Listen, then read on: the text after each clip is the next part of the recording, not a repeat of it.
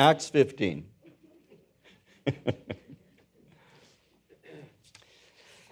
We're going to go through the whole chapter. There you go. yeah, we are. Beginning at verse 1. Certain men came down from Judea and taught the brethren, unless you are circumcised according to the custom of Moses, you cannot be saved.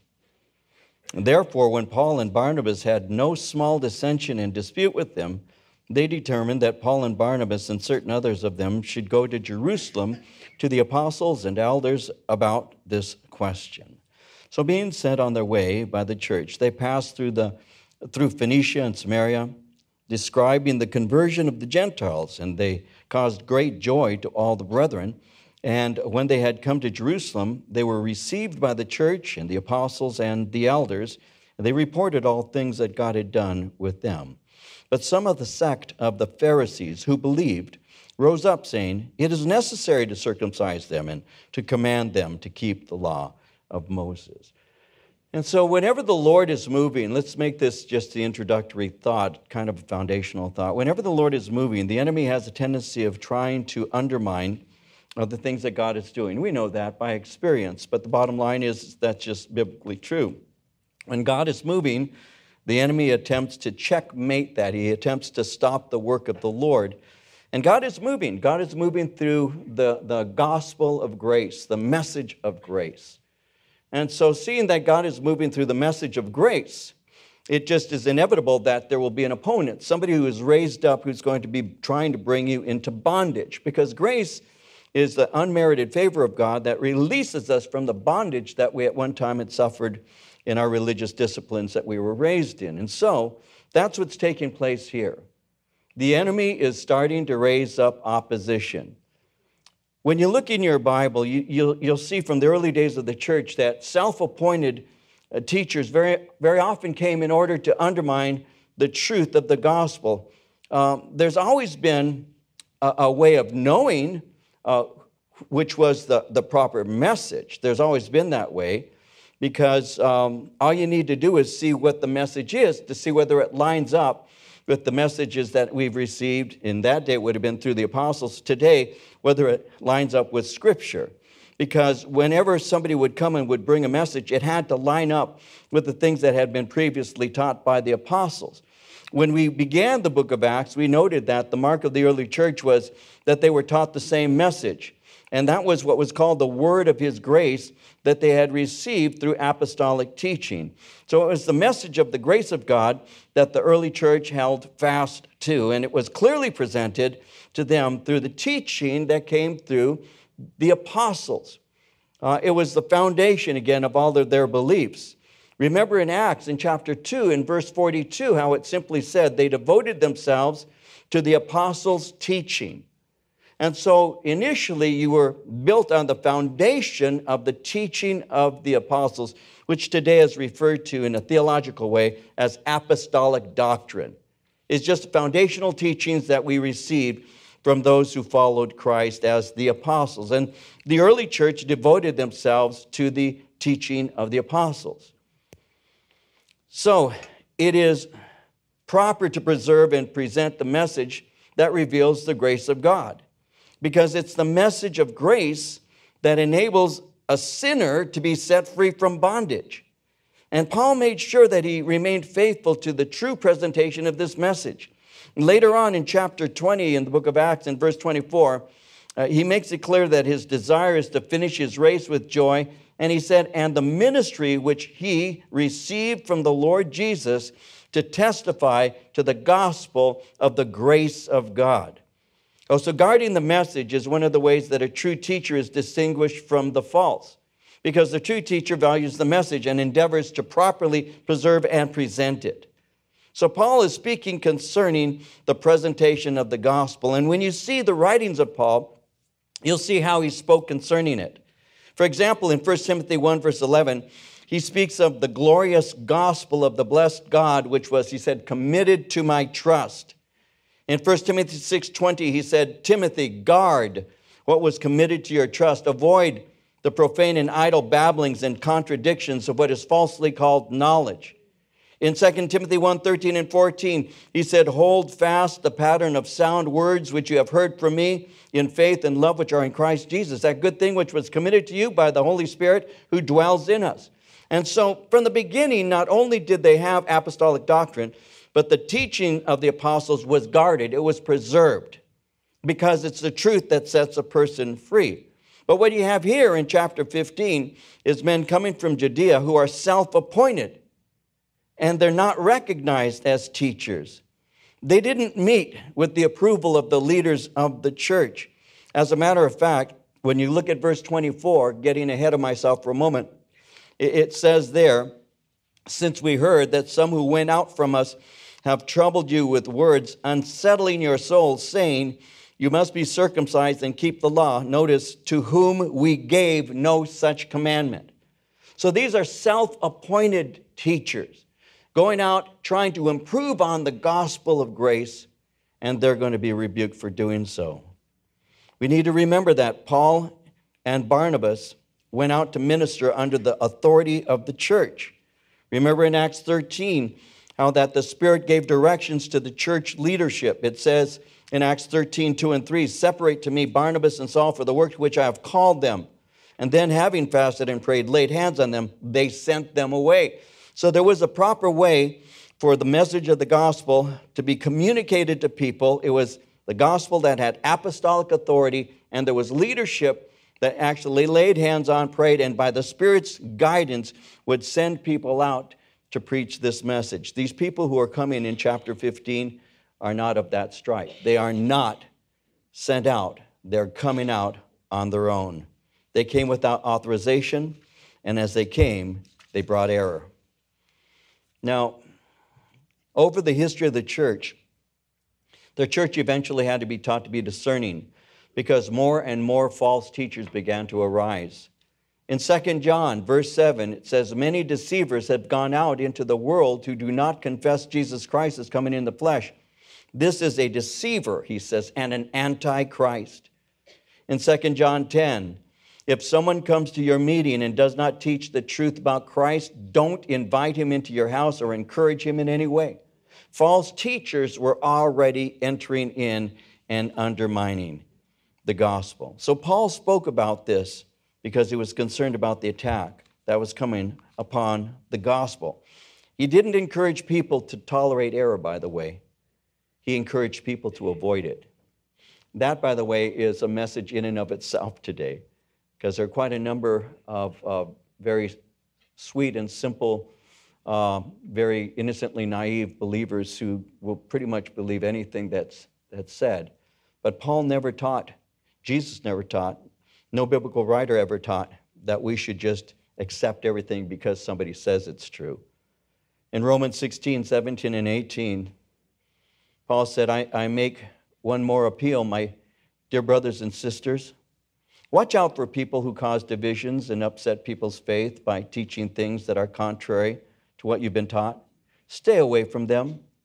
Such people are not serving Christ our Lord, they are serving their own personal interests. By smooth talk and glowing words, they deceive innocent people.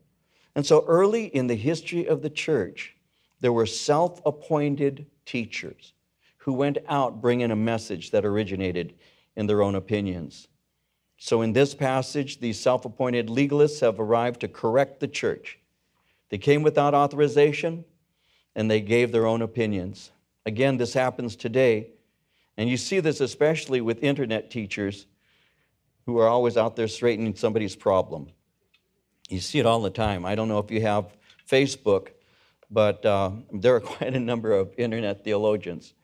And uh, I've had more than one conversation with them who are correcting me you know, and um, it's and I say, Rawl, please don't do that. If you you got my phone number, just call me. But that happens quite often today. Now, these men are unnamed, so it's difficult to know exactly who they are. But one thing is known they've exceeded the message of the gospel because they've added to it. They've exceeded it because they've added to it.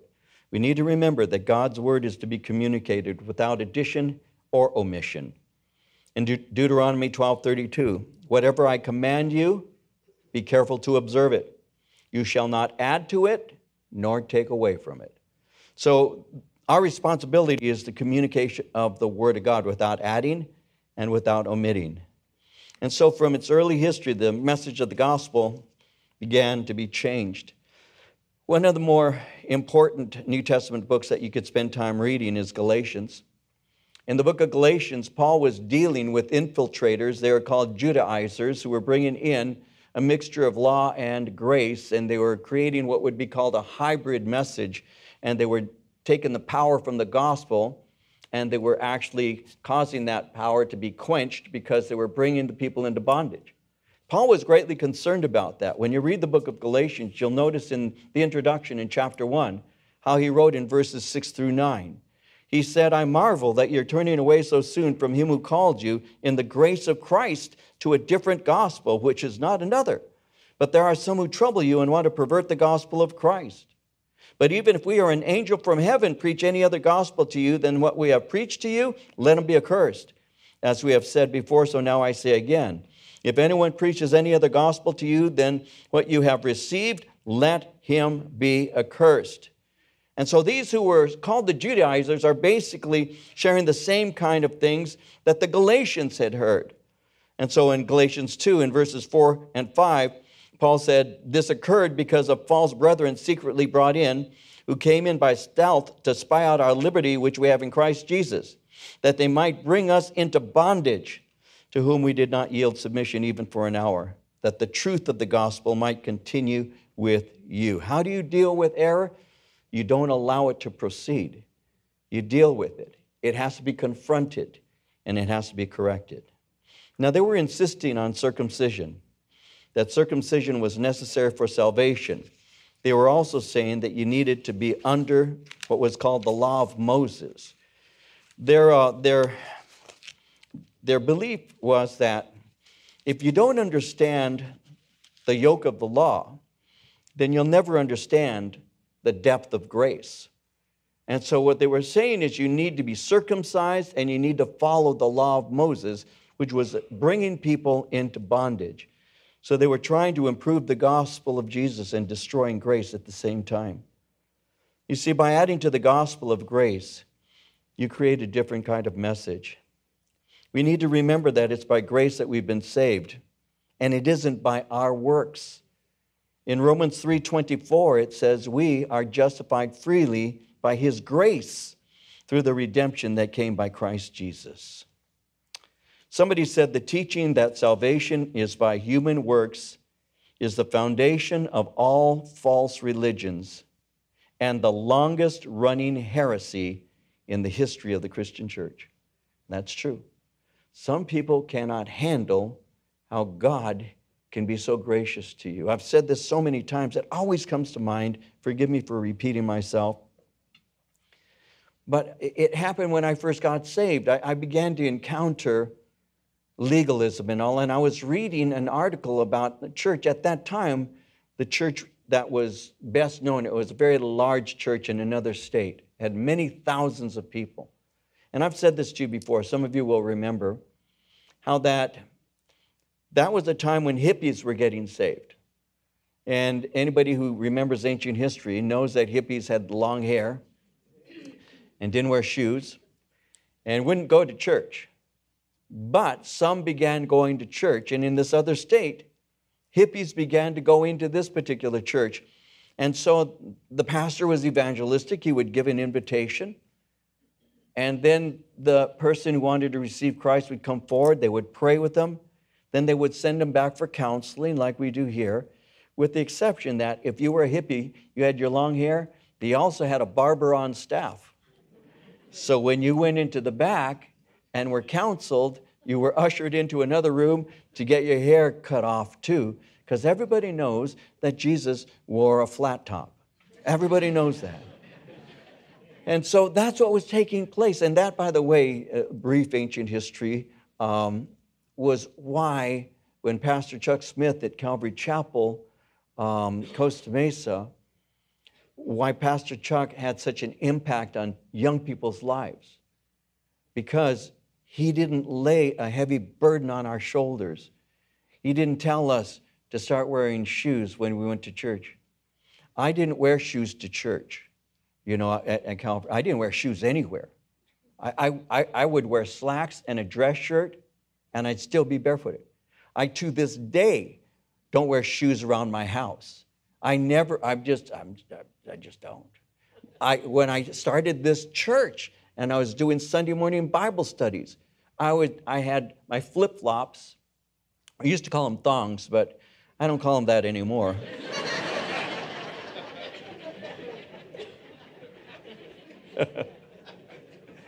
so they're flip flops. And I would kick them off. And I would just cross my bare feet. And I sat on a, on a, cow, on a, a little chair.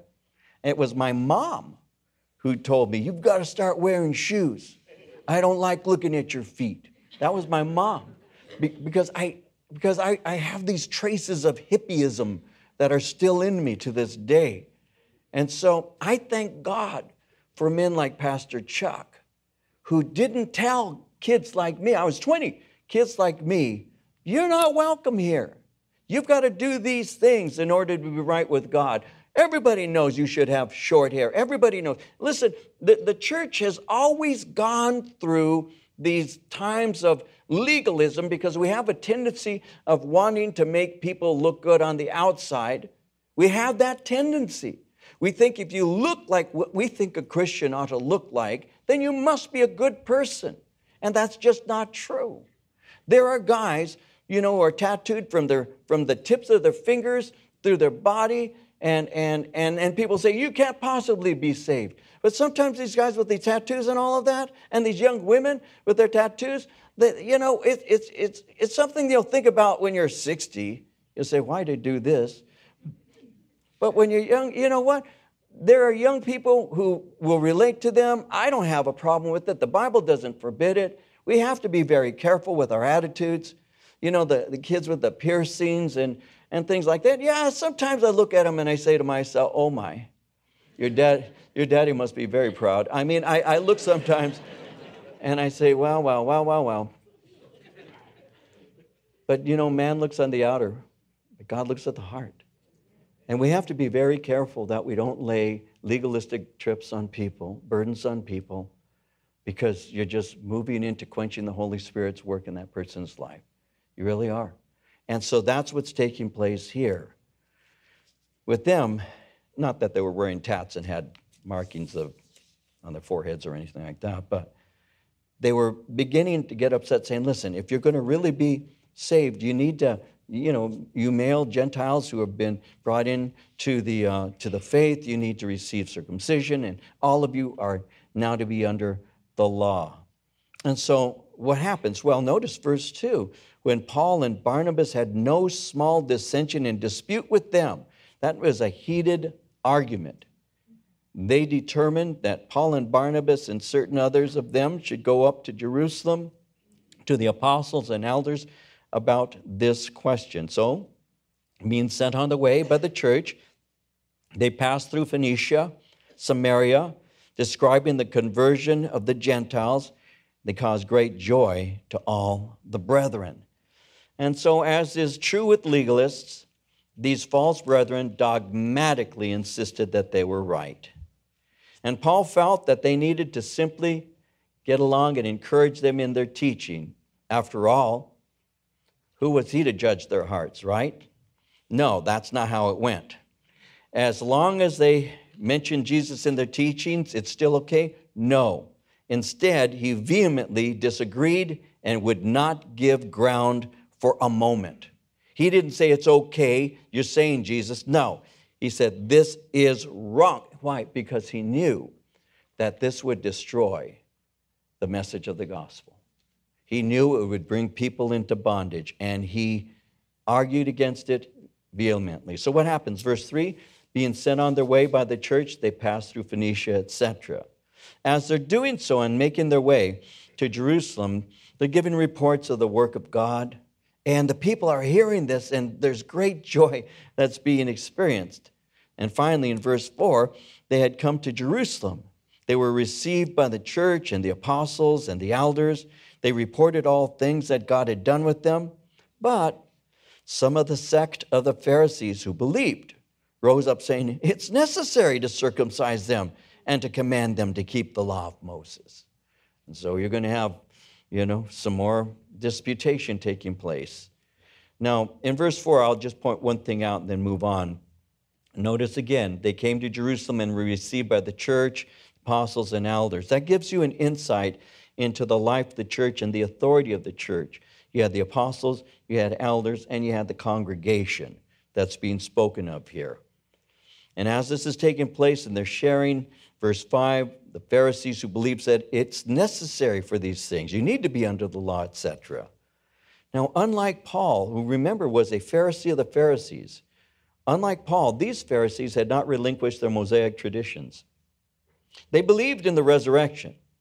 They also believed that Jesus is Messiah, but they were ingrained with traditions. And when you're ingrained with traditions, it's really not always that easy to let go of them. Some religious traditions are not easy to unlearn. Have you discovered that? Some are not easy to unlearn. It depends, of course, on your devotion and your religious background. But I've discovered that some religious traditions are not easy to unlearn. When, uh, oh, I've shared this again, this is another old story, but it always comes to mind religious traditions and letting them go. Marie, and I, Marie got saved. My wife got saved in my Bible study. My sister Madeline brought Marie to faith in Christ, um, probably within two or three weeks of her coming to her first Bible study that she'd ever really gone to to hear the gospel preached. She came to my Bible study. My brother invited her. I was discipling my brother at that time in the city of Ontario back in 1974. And uh, Marie showed up. Within two, three weeks or so, she gave her heart to Christ. And she needed discipling, and I started dating her. And as we were going out, just making sure she walked straight with the Lord. We'd been going out for several months, several months, several months. I wasn't somebody who told her, you need to do these things. If you don't do these things, I did want her to memorize scripture. We had our problems about that. But in terms of just, you got to do these things or else, I, am not, I was not that way, even as a boyfriend.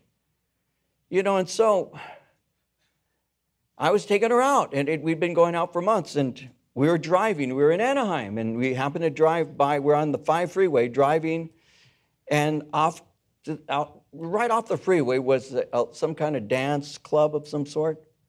And Marie is seated next to me, and she looks at me and she goes, Oh, I was there last night. I said, Oh, What were you doing there? She said, Oh, I went dancing with my girlfriends and I went dancing. I said, Oh, really? She said, Yeah. And uh, she said, A guy really took an interest in me. Now we're driving. and she says, The guy really took an interest in me. He asked for my phone number. I said, Really? She goes, Yeah. I said, Did you give it to him? She says, No. Why not? Well, I told him my boyfriend wouldn't like it. And I looked at her. I said, You got a boyfriend? I was serious. I, I, was serious. You got a boyfriend? She goes, Yes, I do. I said, Who? Who? She said, You. And I said, I'm not your boyfriend. She goes, What? I'm not your boyfriend. What do you mean by that? I said, Listen, if I were your boyfriend, you wouldn't have been there last night. she never went again. I did. No, she didn't. I don't, I'm not into that, you know, oh, you, no, listen, I, I, this is so practical. It really is. If you get past the stupidity of it, it's very practical. Um, I can't force my girlfriend to love me. She chooses to or she doesn't. based on what she wants to do. Who am I to tell her who to like and not to like? She makes choices, right? I could not make her into a saint by telling her, memorize these scriptures, pray this often, go to church this often, do these things. That just creates a very self righteous, rigid legalist. That's what it creates. But when you fall in love with the Lord Jesus Christ, guess what you do? You read His Word, you pray, you fellowship with other people who love Jesus Christ, you go to church, you serve God. Why? Because you're in love with Him. It's not that tough. You know, so many times, I don't know what to do. Well, I don't know what to do. You know what? When you begin to just enjoy the Lord in His presence and you walk in His grace, His commandments are not burdensome. They're not. They're the joy of your heart. They're the delight of your heart, as the psalmist would say, because your delight is just being with Him and pleasing Him. It's, it's that simple. And here come the, the Judaizer, here come the the legalists who are saying, oh, no, no, no, no, Paul, no, uh, no. It is necessary to circumcise them and command them to keep the law of Moses. That is the legalism of it. And so they're saying, no, it is necessary. So there are some things, some religious traditions that aren't easy to unlearn. There are things that you bring into your walk with the Lord. But as you get into the Word of God, you discover these things are no longer going to have their hold on you. And so this is what is taking place. Verse 6 The apostles and elders came together to consider the matter. So there's a private meeting between the leaders of the church. It's the leaders and not the congregation who are to make a ruling on this divisive issue. Verse 7 When there had been much dispute, Peter rose up and said to them, Men and brethren, you know that a good while ago God chose among us that by my mouth the Gentiles should hear the word of the gospel and believe. Uh, so God, who knows the heart, acknowledged them by giving them the Holy Spirit just as He did to us, made no distinction between us and them, purifying their hearts by faith. Now, therefore, why do you test God by putting a yoke on the neck of the disciples which neither our fathers nor we were able to bear. We believe that through the grace of the Lord Jesus Christ, we shall be saved in the same manner as they. So Peter stands up and simply reminds them of how that some commentators say 10 years, others say as many as 17 years earlier, at the house of Cornelius. You remember the story in Acts 10, how that Peter had spoken to these Gentiles, the Holy Spirit had fallen upon them, they were brought into the body of Christ as believers, and that's what he's alluding to. He's saying God has already, and done this a long while ago, brought them into the knowledge of the grace of God.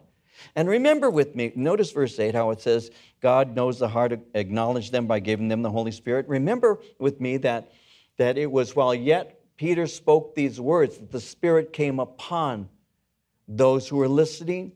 So they never made a confession of faith. But God knew their heart that they had faith to receive, and that's why they received the, the uh, regeneration and power of the Holy Spirit that had taken place. And so he's reminding them of what had taken place. And then he says this in verse 10 Why are you testing God by putting a yoke on the neck of these disciples? Why are you doing that? Why are you putting a yoke of them? Now, the word yoke speaks of what has been called the severity of the law. The severity of keeping the whole law is what he's referring to. You see, in James, in chapter 2, verse 10, it speaks of the severity of the law in this way Whoever keeps the whole law and yet stumbles at just one point is guilty of breaking all of it. That's severe. You know, you have 613 commandments in the Old Testament. You could keep 612, though it's not possible, but say you did and break one, you're guilty of them all. And that's what James was saying. Matthew 23, verse 4, Jesus speaking concerning legalism and all, said they tie up heavy loads and put them on men's shoulders. They themselves are not willing to lift a finger to move them. The heavy loads is once again their commandments, their ordinances, their rules, their regulations. He says, then they load them with these things. That's why in Matthew 11, 29, Jesus would say, Take my yoke upon you, learn from me. I am gentle and humble in heart, and you will find rest for your souls. You cannot carry that yoke. And that's why Peter is saying, Why do you want to put the yoke of bondage on them, a yoke that we nor our fathers were able to bear? Why would you do that? He says in verse 11, We believe that through the grace of our Lord Jesus Christ, we shall be saved in the same manner as they. If we are saved by grace, why are you arguing that they'll be saved by law? Now, as he's speaking, verse 12, all the multitude kept silent and listened to Barnabas and Paul, declaring how many miracles and wonders God had worked through them among the Gentiles. So he's speaking about how God had poured out his spirit and God had done work, and he'd done so amongst the Gentiles. And they're listening to this as they're giving their report. And after all this has taken place, verse 13, they became silent. James answered, saying, Men and brethren, listen to me. Simon has declared how God at the first visited the Gentiles to take out of them a people for his name. And with this, the words of the prophets agree, just as it is written After this, I will return and will rebuild the tabernacle of David, which has fallen down. I will rebuild its ruins, and I will set it up, so that the rest of mankind may seek the Lord even all the Gentiles who are called by my name, says the Lord who does all these things, known to God from eternity are all his works. So, James, who is the leader of the church in Jerusalem and, and very highly regarded and tremendously respected, begins to speak. This James is the brother of Jesus. He's the leading elder of the church there in Jerusalem. And so, being Jesus' half brother, he naturally had tremendous respect of all who were present. And he summarizes what has been said because he's about to make a, a judgment. He speaks in verse 14 of Simon. I find that interesting because he refers to Peter by his old name. And that's a way of establishing his longevity, his, his, uh, his credentials, if you will. And he speaks concerning how God visited the Gentiles. So what he does is he begins to speak to speak of the ministry uh, that Simon had to Cornelius, and he's pointing out that that God had by His grace already begun saving Gentiles. To emphasize that, notice he roughly quotes from the book of Amos, chapter 9, verses 11 and 12. When you look at that passage there, found in verses 16 and 17 here, when you look at that passage in Amos, it speaks of what has been called the millennial uh, the millennial kingdom, the thousand year kingdom that will be set up by Messiah. But its point is that the kingdom will be populated by all who have come to God, both Jew and Gentile. So he's saying Gentiles will be there. They don't have to become Jews. And since that's true, there's no need for Gentiles to become converted to Judaism today. So James sees the prophecy fulfilled. And he says, no, that, that took place when Jesus was resurrected and he made the two one. Well, as he's speaking, he now makes a judgment. Verse 19, therefore, I judge that we should not trouble those from among the Gentiles who are turning to God, but that we write to them to abstain from things polluted by idols, from sexual immorality, from things strangled, and from blood. For Moses has had throughout many generations those who preach him in every city, being read in the synagogues every Sabbath. So it's interesting how he, he begins to bring this judgment. Um, he's making it very clear here that Jewish believers are not to trouble the Gentiles. It's interesting. I, when I saw that word in verse 19, I judged uh, that we should not trouble those. That word trouble, I thought, now what does that mean? And I found it interesting. The original language simply means to annoy. You shouldn't be annoying them, is the thing he's saying there. It's interesting to me, but that's what he's saying. Don't be annoying your Gentile brethren. What he's going to do here, by the way, is he's going to give us something very practical because this deals with both cultural and religious sensitivities. Sensitivity to religious traditions should produce consideration. You see, Gentiles will show a spirit of unity by voluntarily doing four things, or some basic things. One, they're to reject idolatry. Now, rejecting idolatry is represented by avoiding the food that is offered to idols. And they're speaking concerning this when it says, um, abstain from things polluted by idols. Uh, during that day, you would go into a marketplace, which we, we still have marketplaces, open markets to this day, but you'd go to a marketplace, and very often there was uh, a stand that sold meat that was basically under the ownership, if you will, of the local pagan temple. And so I, as a Gentile, could walk in there and purchase the meat, which, you know, would be a good cut of meat because they would sell certain meats that were being offered to idols. But it would cause people who knew that that meat had been offered to idols before being sold in what were called the shambles, it would cause them to be stumbled. The Jews especially had a sensitivity, though Gentiles did too, to this. And so he's saying, you need to be abstaining from these things because there's a religious as well as cultural sensitivity to them. Because the Bible teaches from the very beginning that idolatry is forbidden. There is one God, and you're to worship Him alone. And so, you need to abstain from anything that in any way smells like idolatry. And so, to reject idolatry is represented as avoiding the food that had been offered to the idols. So, be sensitive, he's saying, to the tenderness of other people's consciences. Remember that idolatry in the Old Testament had led to the judgment of the Jewish nation. And so naturally, they're very sensitive about that. And thus, as a Gentile, you need to abstain from these kinds of things so that you don't wound the sensitive conscience of your Jewish brethren. You see, it is more loving to a brother or a sister when you are tender to their consciences. Let me say this real briefly and I'll move on. Christians today, sometimes we need to be rem- reminded of that because one of the things that I have heard frequently uh, in recent years, it's been going on for many years, of course, but recent years, has been hey, if you have a problem with that, that's your problem, not mine. There are a lot of people like that. You know, if you, if you say, you know, I have to be honest with you, that, that, that, that stumbles me. And what is the response? Is it like, you know, I'm sorry, I apologize, I, I didn't intend to do that. Is that what they do? No, very often, no, that's not at all. What they'll say is, hey, get over it. That's your problem, not mine. I'm not in bondage to you. Why would? And there's this attitude that my freedoms override your conscience. That's not the love of God. Keep that in mind. Keep that in mind.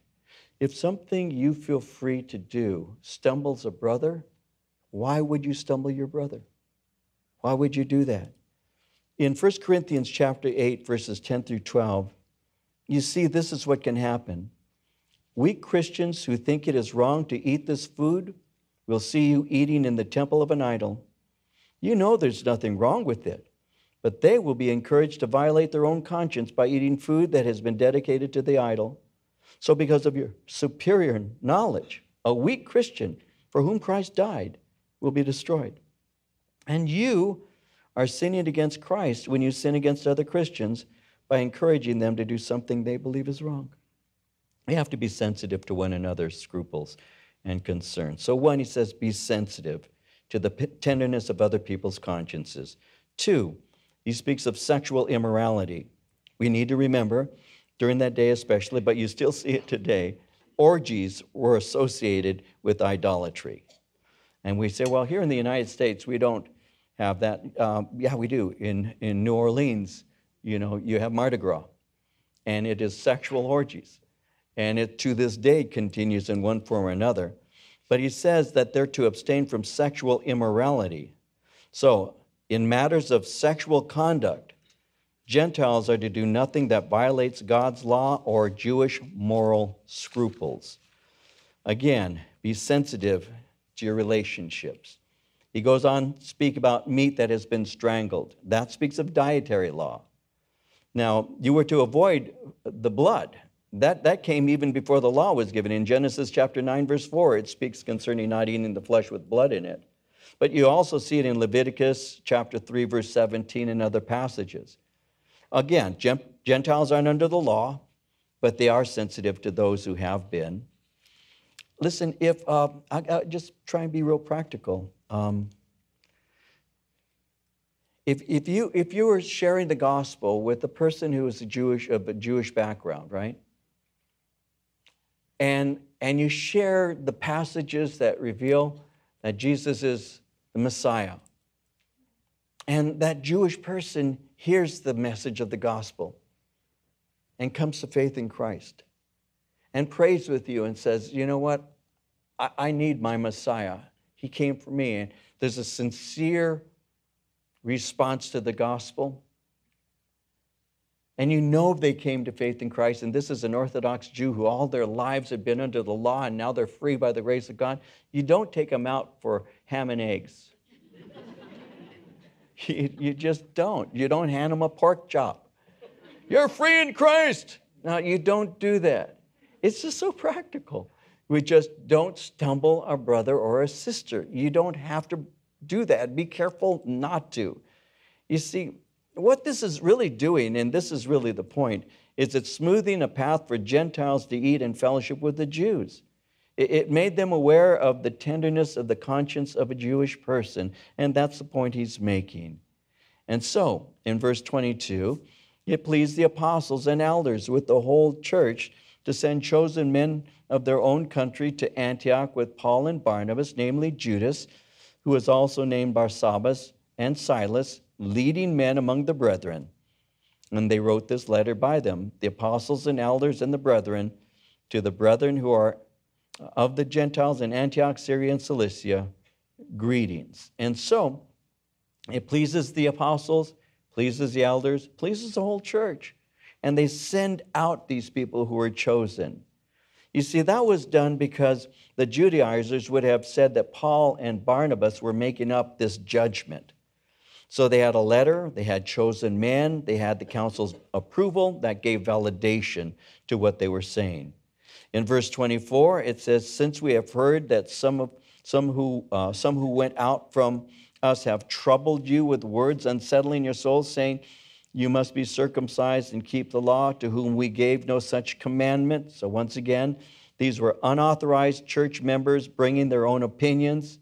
The result is the removal of the peace and unity of the Spirit.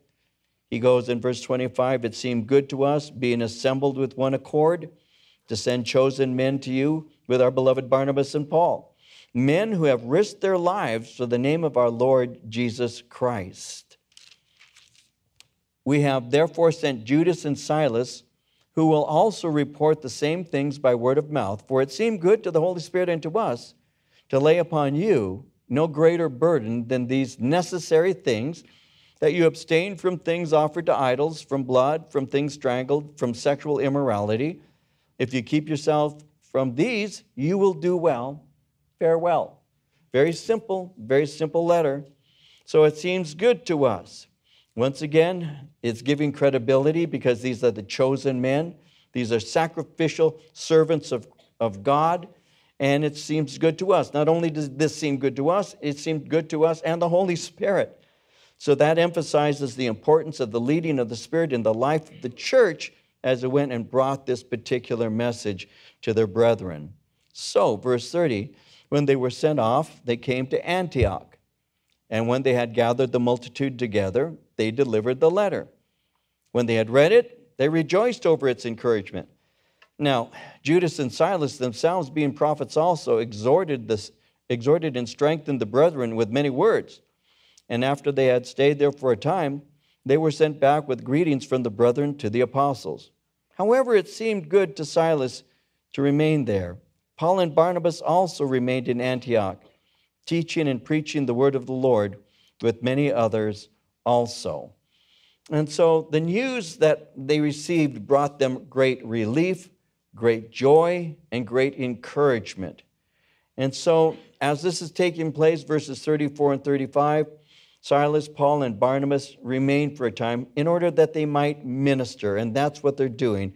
And they stayed there for some time doing just that. But notice verse 36.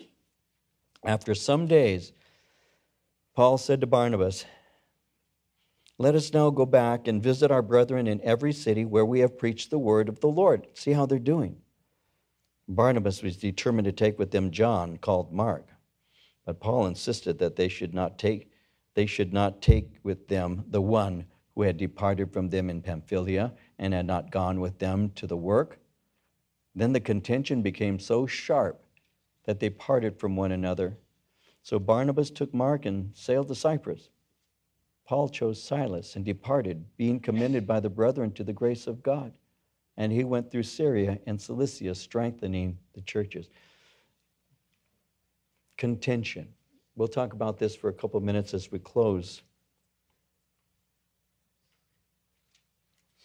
Paul was not willing to take an immature believer out on ministry. When he had originally had Mark with him, the ministry proved to be too, too difficult for him, apparently, because he departed and went home. Paul didn't forget that.